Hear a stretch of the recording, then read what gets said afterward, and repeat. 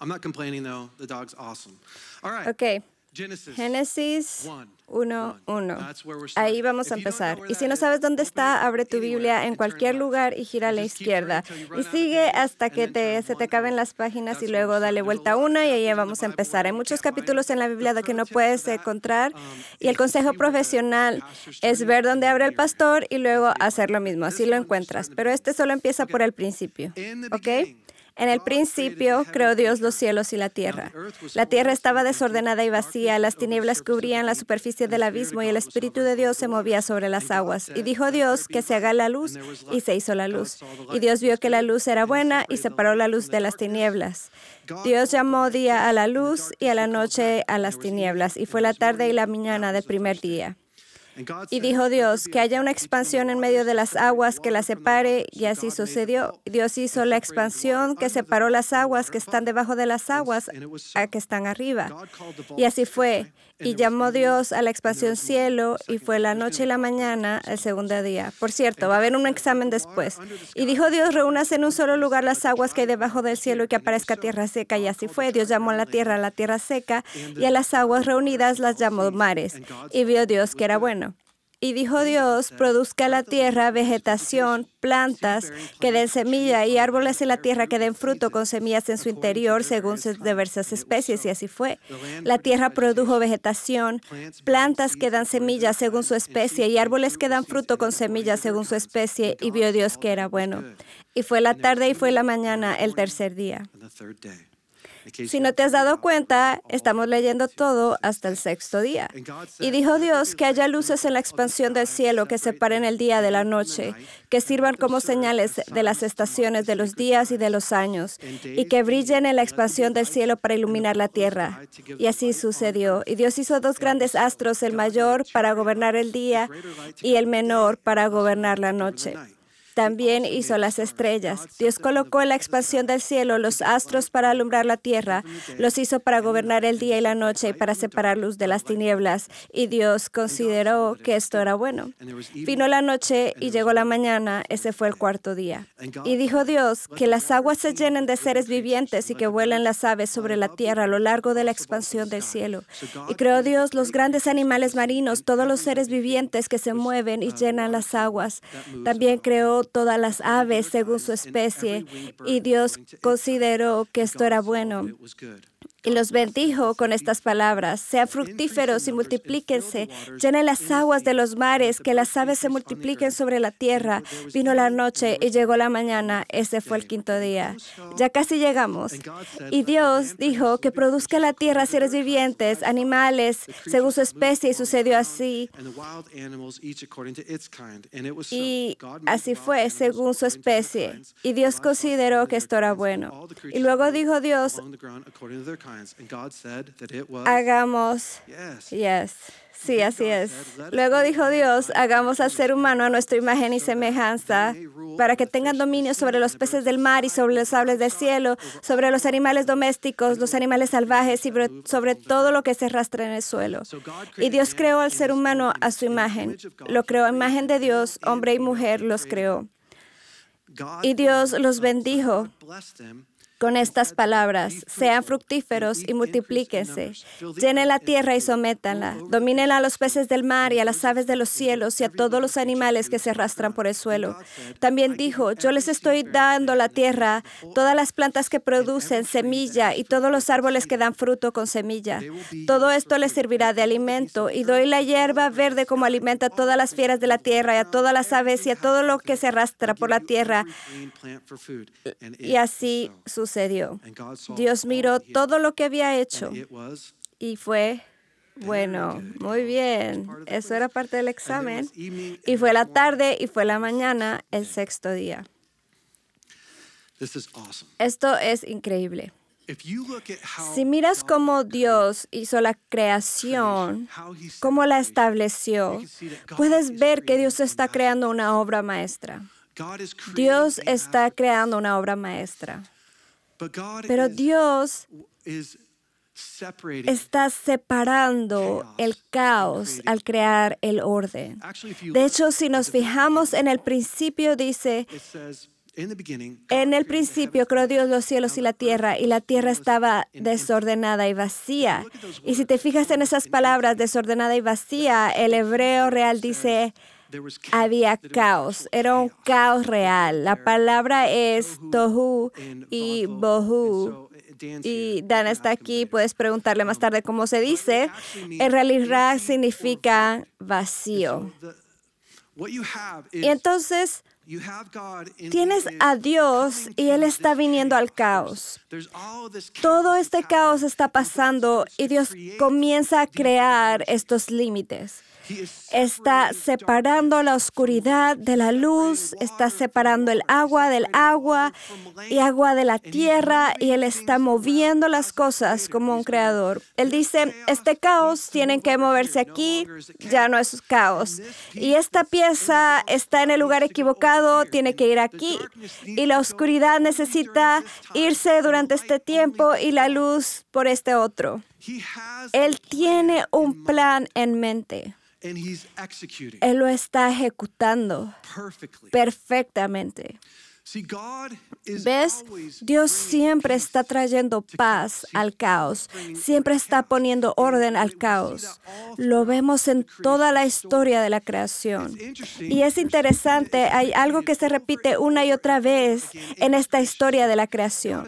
Dios está hablando de las cosas que está creando, ¿verdad? Está creando plantas, pero no solo está creando plantas. No dice, Dios creó las plantas y las puso en la tierra y eran asombrosas. Dice, creó las plantas según su especie. Es muy específico. Él lo está diciendo, ¿por qué? Porque tiene un trabajo para las plantas. Y es realmente importante que lo entendamos. Dios como creador tiene un trabajo, Él tiene un plan maestro en mente. Él dice, estoy poniendo frutas allí de acuerdo a las frutas. Y tienen semillas para reproducir frutas. Y estoy poniendo árboles de limón de acuerdo a los limones. Y tienen semillas que hacen crecer más limones. Tengo un plan maestro. Ese es el orden divino. Dios no solo está creando orden, sino que está creando orden divino, divino basado en cómo Él nos ha creado para crear. Y vas hasta abajo y si te fijas en los peces, Dios no solo pone peces y animales en el agua. Él crea los peces según su especie y les da instrucciones. Tú dices, ¿le da instrucciones a un pez? Sí. Él ha dado instrucciones a todo el planeta. Es muy interesante. Le dice a los peces que sean fructíferos y se multipliquen, que llenen los mares. Y lo mismo a los pájaros. Sean fructíferos, multiplíquense y llenen la tierra. Y eso es lo que vine a hablarles hoy. Estoy bromeando. Hay más. ¿Qué está pasando? Dios está creando un ecosistema divino. Está creando un ecosistema. Lo está preparando todo. Y luego 27. llegamos al versículo 27. And verse Y el 27, versículo 27 it says, God dice, Dios creó al ser humano a su imagen. A imagen de Dios lo creó, varón y hembra. ¿No es interesante que cuando habla de las plantas, los peces y los animales, dice según su especie? Pero cuando habla de los seres humanos, no dice que los creó según su especie. Dice, los crea a imagen de Dios. Esto es muy poderoso. ¿Por qué lo hace? Bueno, lo hace porque los animales y las plantas no se supone que deben gobernar la tierra. No se supone que traigan paz al caos. No se supone que traigan orden al caos. La humanidad sí. La humanidad sí. Cuando Dios crea la humanidad, Él dice, te estoy creando para que seas un creador como yo, a mi imagen. Todo tu trabajo es traer orden al caos. Ese es tu trabajo. Eso es lo que vas a hacer. Y entonces Él pone on al hombre en el planeta y no solo dice, ok, diviértete, disfruta de lo que he creado. De verdad, ve y vive la vida. Se supone que la vida se trata de ti. He says, Él dice, aquí vamos, Él dice, Dios los bendijo y les dijo, no es interesante, los bendijo. Los bendijo con responsabilidad. Esto es poderoso, especialmente al criar niños. Esto es poderoso. Dios bendijo a Adán y Eva. Dios bendijo a la humanidad y luego les dio un montón de responsabilidad. Les dijo, sean fructíferos, crezcan en número, llenen la tierra, domínenla, dominen los peces. ¿Por qué? ¿Por qué Dios está haciendo todo esto? Porque Dios tiene un plan. maestro. Lo que Él está haciendo es establecer un lugar donde la familia pueda prosperar. Es un ecosistema perfecto. ¿Te das cuenta de que Dios no creó los cielos y la tierra y Adán? Y Adán estaba flotando por la tierra. Nota que Dios no creó los cielos y la tierra y las aguas y Adán estaba tratando de nadar. Dios realmente tenía un orden divino. Parte de nuestro problema es que estamos fuera de orden. Dios tiene un orden divino. Él pone a Adán donde Adán va a prosperar. Él establece un ecosistema perfecto. Dice noche, día, estrellas para que Adán pueda navegar, comida, da una instrucción de comida, sean fructíferos, multiplíquense, hagan todo esto. Adán, ahora vas a entrar, vas a venir a un lugar donde estás perfectamente preparado para el éxito y vas a gobernar y reinar y vas a hacer crecer este ecosistema y vas a hacer crecer a tu familia y vas a enseñarles como yo te enseñé y van a prosperar y los hijos de sus hijos van a prosperar y, y así sucesivamente. ¿Estás conmigo? El diseño original de Dios para ti y para mí era separar el caos y el orden y crear un ecosistema donde podamos prosperar. Esto es muy importante. Hay tres historias de origen que realmente importan en el orden divino. La primera historia que realmente importa para cada persona aquí fue cómo Dios creó los cielos y la tierra, cómo todo fue creado.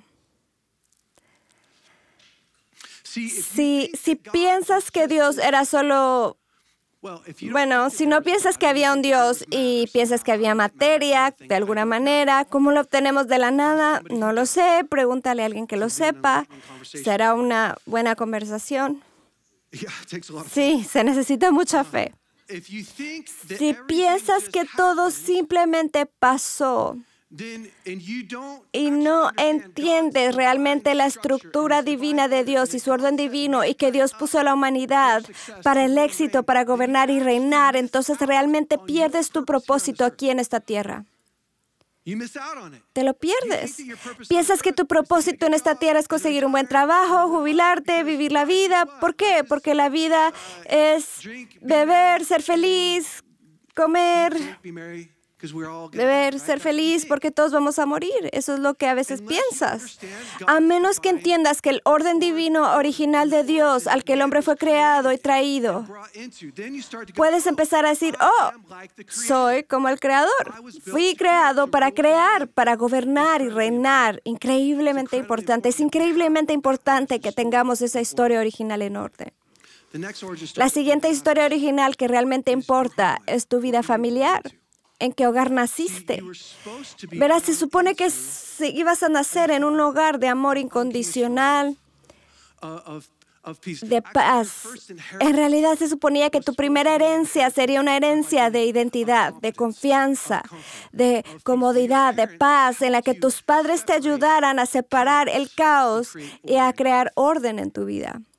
Eso es lo que debía pasar.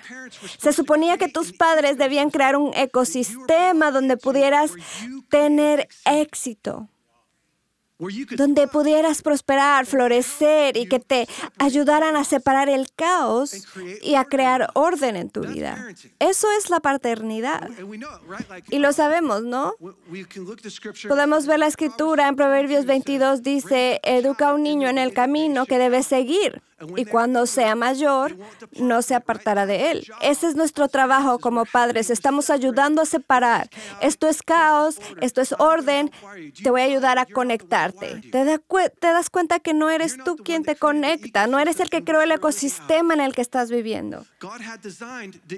Dios había diseñado que tú no tendrías que hacerlo. Él diseñó algo en que tú serías programado y conectado de la misma manera que lo hizo con Adán y Eva. Vienes a un lugar que está perfectamente preparado para ti, donde puedes prosperar, crecer, aprender. Y no pudiste elegir a tus padres o a la escuela que fuiste, la comida que comías, los pantalones que usabas y la ropa que llevabas. Todo eso fue escogido para ti y en el diseño perfecto de Dios se suponía que iba a ser una bendición. Pero muchos de nosotros no nacimos en eso, no naciste en una bendición, sino en una vida caótica, una vida con angustia. ¿Y a qué te conectaste? Al caos. ¿Por qué? Bueno, porque alguien no entendió, entendió la historia de origen. No entendieron la creación de Dios. Y no entendieron que se suponía que nacieran en una familia llena de amor. Y debido a esto, ahora hay un montón de caos, ¿verdad? Y si nunca confrontas tu historia de origen, cómo llegaste a esta tierra, entonces vas a estar como atascado en el caos. Porque todo eso es un desastre. Y la tercera historia que importa mucho es tu nacimiento en el reino de Dios. Esa es la tercera historia de origen que realmente importa, tu nacimiento al reino de Dios. Porque puedes entender que Dios creó los cielos y la tierra y tenía este orden divino y podrías nacer en una familia amorosa, saludable, servicial, pero si no entiendes que ya no eres un pecador salvado por gracia, sino que eres un santo, entonces produces caos, ¿no? Porque cuando entraste al reino, entraste como un hijo, como una hija. No entraste todo limpio. Dios te limpió. No entraste perfecto, Dios sacó your el life. caos de tu vida y Él creó orden en tu And vida. Y luego Él dice, "Now ahora ve y haz cosas más grandes que las que yo hice. En nuestra casa eso es resucitar a los muertos, sanar a los enfermos, expulsar demonios. Le debemos al mundo un encuentro y nos emocionamos acerca de eso porque en esta casa entendemos la historia de origen del reino. Esto es lo que se supone que debes hacer. ¿Y cuántos de ustedes se han equivocado con esa historia en su vida? Se equivocaron por un tiempo. Dijiste, ok, yo sé que Dios creó los cielos y la tierra y tengo esta familia y tal vez está un poco desastrosa, voy a trabajar en la historia, pero cuando vine a la iglesia vine limpio, vine para impresionar a Dios y tengo que impresionar a todos y de alguna manera me las arreglaré. Esa es una tortura, ¿no? Porque nunca eres lo suficientemente bueno. Porque ya te han hecho lo suficientemente bueno. No tienes que ser mejor. Esa historia de origen importa mucho. Porque nunca sanarás a los enfermos, resucitarás a los muertos o expulsarás a los demonios o complacerás a Dios si no comprendes su diseño divino para ti. Entonces, trabajamos muy duro. Entonces, What kills divine order? ¿qué mata el orden divino? For 1995, Para mayo 1995 te lo diré.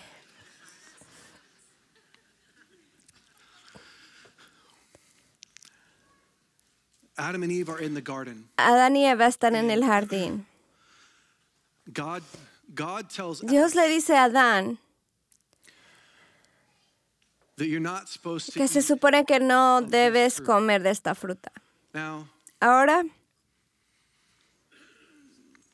I know that Bueno, sé que muchas de ustedes, mujeres, probablemente están frutadas con esto, porque al final sabemos que el problema and con Adán y Eva y Eva comiendo la fruta fue que ella no recibió instrucciones de Adán de no comer la fruta. Es una broma. Es una broma. Pero en mi caso, en mi casa es lo que había pasado. Se me había probablemente olvidarle decirle a Lauren, no te comas esa fruta.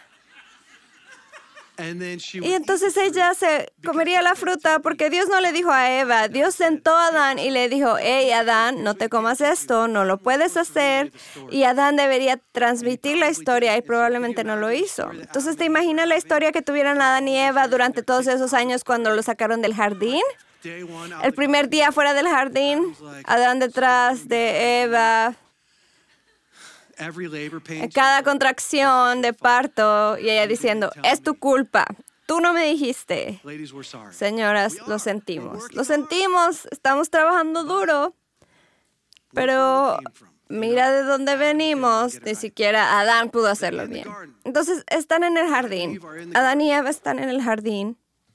And Eve Y Eva está hablando con el enemigo, con el diablo. Y ella toma la fruta y se la come. Y ella va buscando a Adán por todo el lugar y finalmente lo encuentra. Y él estaba hablando con Dios y ella le dice, no, Adán estaba de pie junto a ella. Él estaba de pie junto a ella. Él es el que tiene las instrucciones. Él está mirando al enemigo. Bueno, la serpiente, lo que sea, la serpiente habla con Eva y Adán falla en confrontar el caos. No se enfrenta al caos. Verás, nuestra capacidad para crear orden solo está limitada por nuestra falta de voluntad para enfrentarnos al caos en nuestra vida. Porque mucho del caos en nuestra vida parece tentador. It looks tempting. Parece tentador cuando Adán y Eva miraron al fruto, no era este árbol apestoso, pequeño, viscoso, asqueroso. Esa es la fruta que yo hubiera hecho si hubiera sido Dios. Habría hecho estos pequeños apestosos arbustos que huelen a pedo y estas espinas en él y la fruta estaría goteando. Y lo pondría en Monte Sinaí y sería como, ahí hay una opción. Dios sabía que tenía que haber una opción. Hay una opción, puedes subir la montaña. Pero él no hizo eso, porque para Dios los límites no eran para mantener alejados a Adán y Eva, sino para proteger su amor por ellos. Dios estaba tratando de proteger a Adán y Eva en amor. Y no sería realmente una elección si no fuera tentador. Muchas de las áreas en las que estamos fallando es porque es tentador. Llevo casado mucho tiempo, mucho tiempo. 23 years. 23 años. Sé que tal vez no lo entiendas porque estás "Jane, pensando, Jane y Lauren no están casados tanto tiempo. Yo sí. Um. Estuve casado y nos están riendo porque, bueno, es mi historia, así que puedo contarla como quiera. Estuve casado 10 años y luego me volví a casar. Y cuento esos años porque fue un trabajo duro. Fue duro. Me gané esos años. Y durante mucho tiempo en mi matrimonio me aterrorizaban los conflictos. Todavía me dan miedo. ¿A alguien le pasa eso? ¿No te gustan los conflictos? Aquellos de ustedes que no están levantando la mano también tienen miedo al conflicto, ¿verdad? Todo lo que quieren es que no los meta en una discusión con su esposa hoy. Es verdad. Y los conflictos me daban tanto miedo que los evitaba. Evitaba compartir mis necesidades o poner límites porque no quería. Pensaba que estaba siendo como Jesús. Eso es lo que me dije durante mucho tiempo. Oh, está siendo como Jesús. Excepto que no estaba dando frutos como Jesús. Estaba dando frutos de serpiente. It's true. Es verdad. I was battled. Yo era malo con mi esposa en mi mente. Ella no lo sabía porque yo estaba lleno de frustración, resentimiento y enojo. Oh, pero estoy siendo como Dios. No, eres, eres un cobarde en este momento. Y por eso estás creando caos. Este era el resultado de huir de mi miedo. No estaba creado conexión. Eso en realidad lo que pasa es un gran matrimonio. Es cuando vas a la confrontación o en una buena relación. Cuando voy a la confrontación, en realidad hace lo contrario que lo que pensamos que va a hacer. Si lo haces con amor, si vienes a servir, que es como Cristo nos ha llamado, esposos y esposas, nos sometemos a Dios y luego nos sometemos el uno al otro. Así que cuando vengo a mi esposa, vengo a ella como vendría Dios y por lo tanto enfrento el conflicto y eso crea orden. Crea un lugar donde podemos prosperar. Y yo lo hago con mis hijos también, si soy honesto. He creado caos en mi vida con mis hijos porque no quiero confrontarlos. Así como, oh, por favor, por favor, por favor, ¿qué tan rápido puedes ir, por favor? Y entramos en modo soborno. Y luego vamos a la amenaza si el soborno no funciona. Nunca, nunca vas a volver a ver ese programa. El, el de Bluey. Odio Bluey. No, en realidad sí me gusta Bluey. Tenemos miedo porque nos sentimos impotentes, así que la otra opción aparece muy tentadora, parece buena, parece que nos va a dar vida. Es como, ok, te daré lo que quieras para que estés bien. No es el trabajo de mi hijo poner orden en el caos. Es mi trabajo. Es mi trabajo ayudarlos a salir de este lugar de caos y llevarlos al orden. Y si tengo miedo, ¿qué pasa? Bueno, los dejo para que intenten crear algo que no pueden crear por sí mismos. Se supone que los debe que les debo crear este ecosistema y si no lo afronto, crea más desorden. También lo he hecho con mis finanzas. Sí, por eso vienes, ya lo sé, te lo dije antes, has venido a escuchar mis historias. En marzo del año pasado, Lauren y yo teníamos mil dólares en nuestra cuenta. Y sé que puedes pensar, eso es mucho dinero. No lo es si tienes cinco hijos. Es menos que la comida de un día. Iba a Taiwán a predicar y estaba muy emocionado por eso, pero iba a ser un viaje largo. No te lo ponen fácil allá. Sí, estaba manejando para volar a Taiwán. Es la segunda vez, mamá. Ya lo oí. Ok.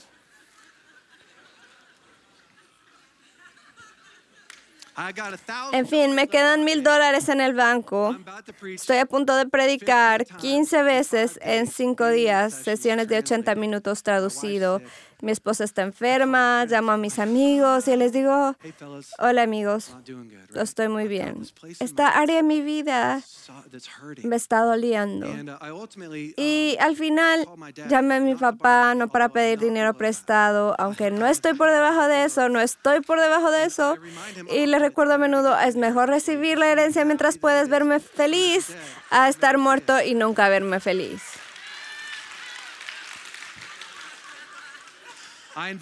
Los invité, sí. Los invité a ver mis finanzas. Ahora, nunca me he sentido de menos de cuatro en cuatro que cuando mis padres vienen a ver mis cuentas. Mi mamá es salvaje. Ella dice, ¿a dónde fueron estos 37 centavos? No lo sé. No sé en qué gasté 37 centavos. ¿Quién lo sabe? Solo Dios sabe. Es la verdad. ¿Sabes qué pasó? ¿Cómo llegué a ese punto? No fue porque no estuviera entrenado. No fue porque tengo un salario de pastor y los pastores no ganan dinero. Honestamente, fue porque esa era un área en mi vida que me daba miedo. Sentía miedo, me sentía abrumado, me sentía impotente, no sé cómo hacerlo, así que lo dejé, lo ignoré, hasta que dolió más que el miedo de tocarlo. Así es nuestra vida, así son nuestros hijos, así es tu matrimonio. Lo ignoras hasta que duele más que el miedo de hacer algo. Pero el dolor de no concentrarse en eso eventualmente se vuelve tan duro, tan doloroso que finalmente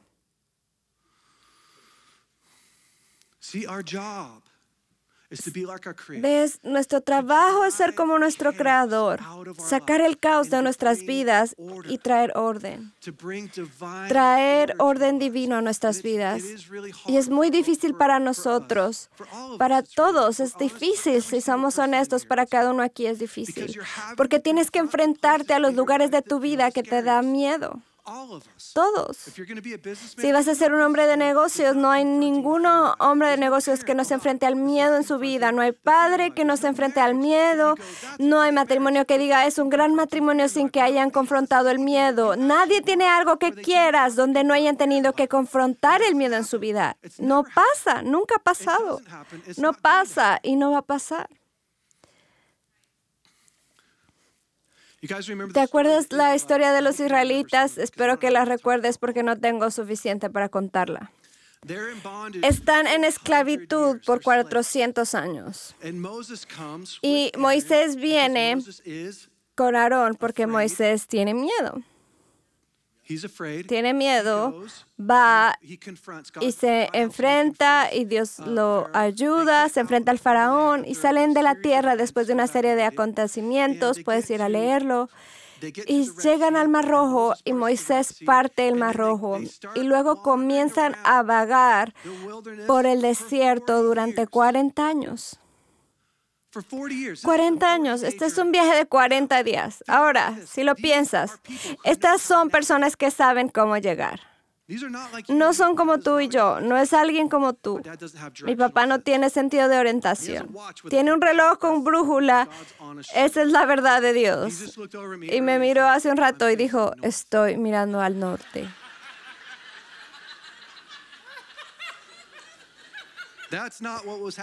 Eso no estaba pasando. Estuvieron dando vueltas y vueltas durante 40 años. ¿Por qué? ¿Alguna vez pensaste eso? ¿Por qué lleva 40 días? Quiero decir, casi que te esfuerzas para no llegar. Tendrías que estar como, ok, ya casi estamos ahí, mejor vamos a la izquierda, a la izquierda, que no lo vean. Y finalmente, después de 40 años, llegan a la tierra prometida, la tierra que les fue prometida. ¿Alguien tiene una tierra prometida? ¿Tienes promesas de Dios? Presta atención a la historia. Llegan a la tierra prometida y envía dos espías. Uh, dos de ellos salen y llevan fruta. Y dice, mira esta fruta. Mira, realmente es la tierra que fluye leche y miel. Esto es lo que Dios nos ha prometido. Diez vienen y ¿qué dicen? Eran como saltamontes a sus ojos. ¿Cómo saben? Hubo alguien que vio a un hombre muy grande y le dijo, ¿qué te parezco? Pareces un saltamontes. Y se fue corriendo. ¿Por qué no vieron la fruta? No vieron la fruta porque todavía estaban atrapados en Egipto. Estaban atascados en la esclavitud y su trauma. Así que lo que parecía fruto para Josué y Caleb. Josué y Caleb. Gracias, papá. ¿Notaste que mi mamá ya no dijo nada? Josué y Caleb, lo que parecía fruto para Josué y Caleb, parecía esclavitud para todos los demás, ni siquiera podían ver el fruto, todo lo que veían era caos, problemas, su, su perdición. ¿Y sabes que los gigantes estaban en la tierra a propósito? que Dios los dejó ahí, Dios podría haberlos sacado de ahí, no lo hizo. Los dejó allí para que cuidaran de la tierra hasta que llegara Israel. ¿Qué estaba tratando de hacer Dios? Esto es lo que Dios estaba tratando de hacer. Los israelitas estuvieron vagando por 40 años y Dios estaba tratando de cambiar su ecosistema, su sistema de pensamiento. Habían milagros y milagros pasaban. Tenían fuego de noche, nube de día. Imagina si caminas y hay una nube sobre tu cabeza y piensas, bueno, tal vez coincidencia, pero te despiertas a 3 de la mañana y hay un fuego cada noche por 40 años. Su ropa nunca se desgastó. Algunas de ustedes, señoras, estarían decepcionadas porque no pueden ir de compras, pero su ropa no se desgastaron. estaban comiendo comida de ángeles, había maná y carne, y la carne también es comida de ángeles milagros extraordinarios, pero a lo largo del camino Dios podía decir, esta gente sigue viviendo en Egipto. Y tan pronto como Moisés se iba, estaban haciendo un ídolo. Querían adorar a otro Dios y quieren regresar. Nos trajiste aquí para morir. No, los traje aquí para que cambiaran su mentalidad. Mira lo que está pasando. Algunos de nosotros, muchos de nosotros en áreas de nuestra vida, hemos sido traídos al reino y experimentamos la bondad de Dios y aún así pensamos, no va a venir. Y en vez de afrontar el caos y los gigantes en nuestra tierra, huimos y decimos, pero Dios me ha prometido la vida. Es como, sí, pero Él ha prometido que vas a obtener la victoria. Dios no va a despertarte en la mañana y decirte, ve a trabajar, Jay, despiértate, vamos, enfrenta este conflicto. No, Él no hace eso. Dios puso árboles en la tierra, no puso muebles. Él dice, ustedes creen los muebles. Ustedes proveen y creen. Ahora te daré la materia premia para que crees. Yo puse la creación en ti.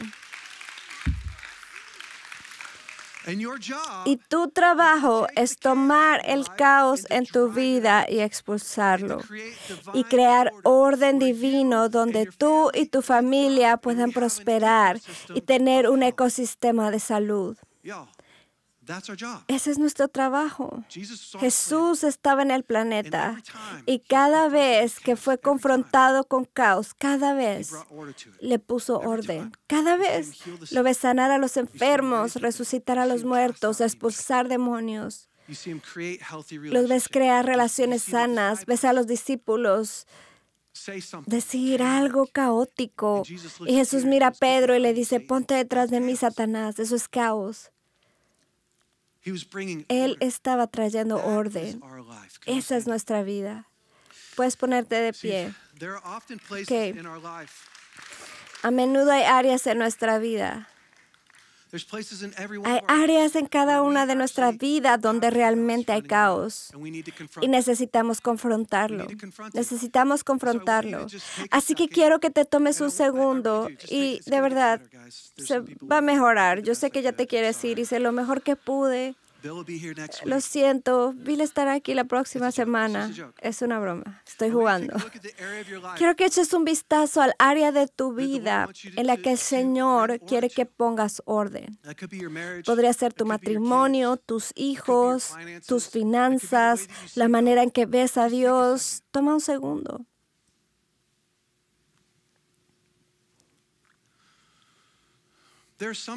A veces hay lugares en nuestra vida en los que hemos intentado poner orden, pero no puedes hacerlo solo. No fuiste capaz de hacerlo por ti mismo. Puede ser trauma de tu pasado y si estás tratando de reconectar tu cerebro por tu cuenta es muy, muy difícil. Y por tiempo tienes ciclos. Puede ser adicción y ciclos que no has podido romper, incluso como cristiano. Quiero animarte a que no trates de resolverlo por ti mismo, sino que busques ayuda. Tenemos todo un centro de transformación aquí en Bethel que está preparado para ayudar a poner orden en los lugares de caos de tu vida. Y a veces tienes que hacerlo, tienes que invertir en esos lugares. Mi esposa no solo fuimos con mi mamá y mi papá, sino que también fuimos a ver a alguien que me ayudó a ver mis finanzas porque ha puesto orden en su vida y tiene una estrategia para mí. No me basta con afrontarlo una sola vez. Tengo que construir una nueva mentalidad, un ecosistema, un entrenador para construirlo. Me estoy arrepintiendo y arrepentimiento no es solo decir lo siento, sino es cambiar tu forma de pensar. Eso es lo que estamos haciendo.